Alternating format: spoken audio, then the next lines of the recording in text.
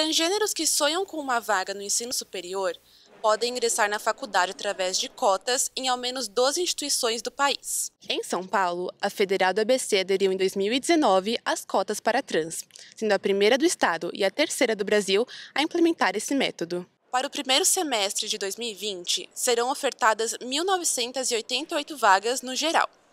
Dentro desse número, 1,5% das vagas são reservadas para transgêneros e transgêneros de baixa renda. Mariel Amaral tem 19 anos e está no segundo quadrimestre de Ciências Humanas. Ele nunca imaginou que um dia estaria na universidade, e as cotas foram um incentivo a mais para que isso acontecesse. Foi uma possibilidade de mudar a minha vida, né? E já começa que eu já também não conseguia entrar no mercado de trabalho por ser uma pessoa trans, então uma escolaridade a mais me faz ter uma possibilidade. O processo seletivo da UFABC ocorre através do SISU.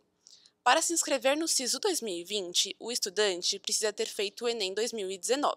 Você pode conferir o passo a passo para a inscrição do SISU e o edital de vagas da UFABC pela internet. As cotas para as pessoas trans é uma alternativa de mudar a realidade dessas pessoas, né? A gente subexiste dentro da, so da sociedade, então assim, qualquer lugar assim tem umas experiências traumáticas, mas há necessidade da gente estar dentro desse ambiente. A minha presença é muito necessária aqui dentro e de outras pessoas também.